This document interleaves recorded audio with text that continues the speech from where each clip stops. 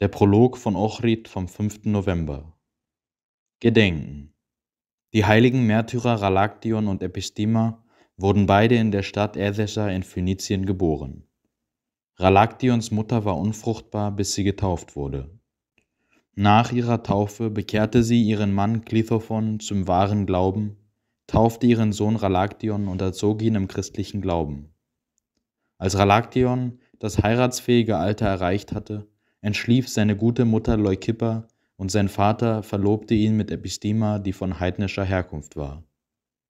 Ralaktion wollte auf keinen Fall die Ehe schließen und überzeugte Epistima davon, sich taufen zu lassen und dann Nonne zu werden, während er die Mönchsweihe erhalten würde. Beide begaben sich zum Berg Publion, Ralaktion in ein Männerkloster und Epistima in ein Frauenkloster. Sie erwiesen sich als helle Leuchten in ihren Klöstern. Sie waren die Ersten hinsichtlich der Arbeit, die Ersten im Gebet, die Ersten in der Demut und im Gehorsam, die Ersten in der Liebe. Weder verließen sie ihre Klöster, noch sahen sie einander wieder bis kurz vor ihrem Tod. Es begann eine grausame Verfolgung und beide wurden vor Gericht geführt. Als die Heiden Ralaktion erbarmungslos auspeitschten, weinte Epistima. Dann peitschten sie sie aus. Danach schnitten sie ihre Hände ab, ihre Füße und ihre Häupter. Ihr Freund Eftolios nahm ihre Leiber und bestattete sie ehrenvoll. Eftolios war ein Sklave von Epistimas Eltern gewesen, dann Mönch bei Ralaktion. Er schrieb auch die Lebensbeschreibung dieser wundervollen Märtyrer Christi auf, die im Jahr 253 litten und ihre Kränze empfingen. Die heiligen Apostel Patrobos, Hermas, Linus, Gaius und Philoloros aus den 70. Patrobos war Bischof von Neapolis, Hermas von Philippopolis, Römer 16, Vers 14, Linus von Rom, 2. Timotheus 4, Vers 21, Gaius von Ephesus, Römer 16, Vers 23 und Philoloros von Sinope, Römer 16, Vers 15. Sie alle erfüllten in Liebe das Gesetz Christi und nahmen ihre Wohnstätten im Reich Christi ein. Der heilige Jona, Erzbischof von Novgorod, wurde in Novgorod geboren und schon früh weise.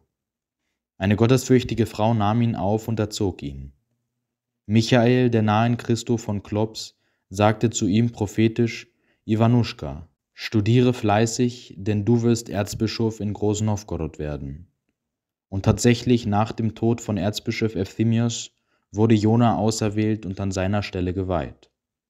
Jona war fromm und barmherzig in einem für sterbliche Menschen seltenen Maß.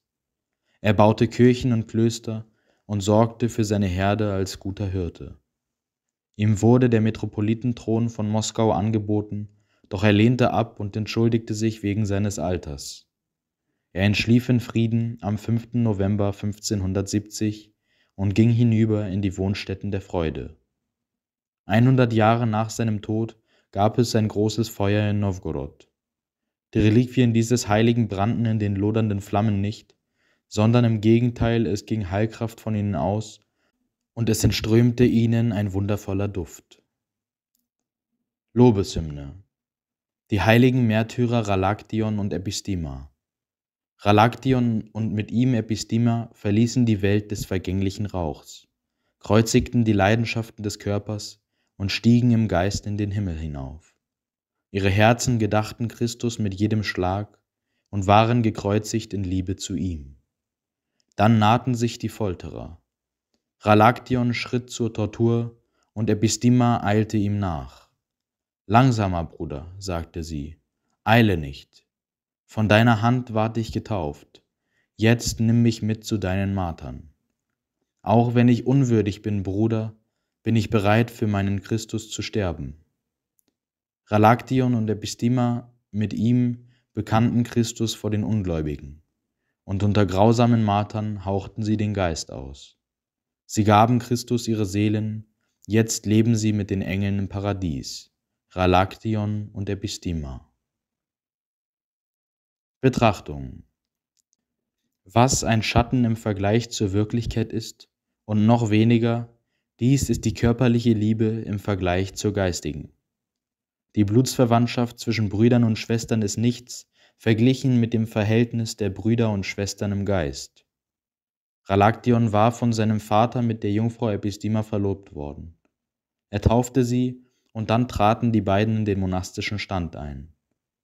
Ihre körperliche Liebe wurde in geistige verwandelt, eine Liebe so stark wie der Tod. Ralaktions geistige Liebe zu Epistima war so groß, dass er sie nicht mit seinen leiblichen Augen sehen musste, denn für die geistige Liebe sind weder Körper noch Begegnungen nötig.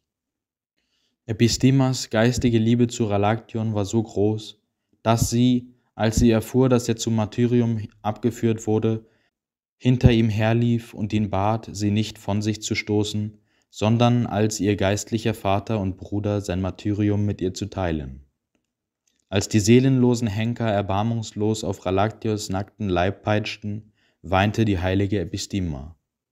Als die Henker ihnen beiden um Christi willen die Hände und Füße abschlugen, freuten sie sich und verherrlichten Gott. Solcher Art war die Macht ihrer Liebe zu Christus dem Herrn, und solcher Art war ihre gegenseitige geistige Liebe, mit der sie einander liebten. Wahrlich, körperliche Liebe ist wie ein bunter Schmetterling, der in einem Augenblick vorüberfliegt, doch geistige Liebe ist beständig. Zum Nachdenken. Lasst uns nachdenken über das wundersame Wirken des Heiligen Geistes. Apostelgeschichte 19.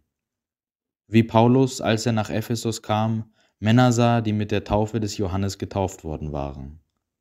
Wie er diesen Männern die Hände auflegte und der Heilige Geist auf sie herabkam wie sie von der Kraft erfüllt wurden, in Zungen sprachen und prophezeiten. Homilie über den durch den auferstandenen Christus erhobenen Menschen.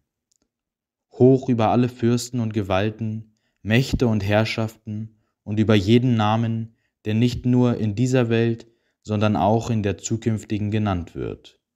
Epheser Kapitel 1, Vers 21. Seht die Höhe, auf die Gott das Wesen des Menschen erhebt. Hier wird nicht über die göttliche Natur Christi gesprochen, sondern über seine menschliche Natur.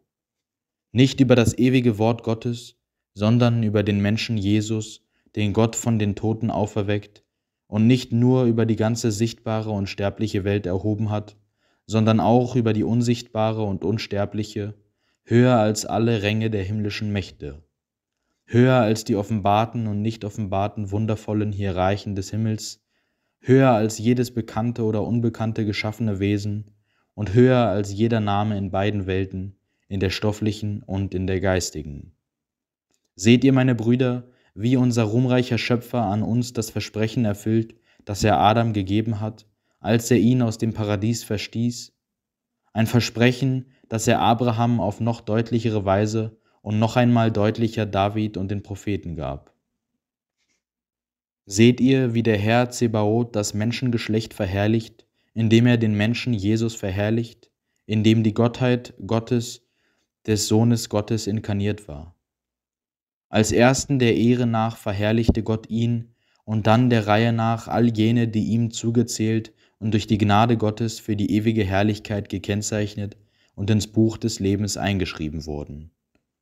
Nicht ohne Grund singt die Kirche an die Mutter Gottes, die du geehrter bist als die Cherubim und unvergleichlich herrlicher als die Seraphim. Dort, wo der auferstandene Herr erhoben wird, dort wird auch seine allheilige Mutter erhoben, sowie seine heiligen Apostel gemäß seinen Worten an seinen himmlischen Vater. Vater, ich will, dass alle, die du mir gegeben hast, dort bei mir sind, wo ich bin. Johannes 17, Vers 24. Dies ist die unendlich weitreichende Folge dessen, dass Gott zur Erde gekommen ist. Solcher Art sind die unaussprechlichen Früchte seines Leidens. O Herr Jesus Christus, unser Erlöser, einzig gleich deinem Vater und dem Heiligen Geist. Hilf uns, damit wir vor dem Ende uns aus unseren schmutzigen Sünden und unserer törichten Sinnlichkeit befreien können. Dir sei Ehre und Lobpreis in Ewigkeit. Amen.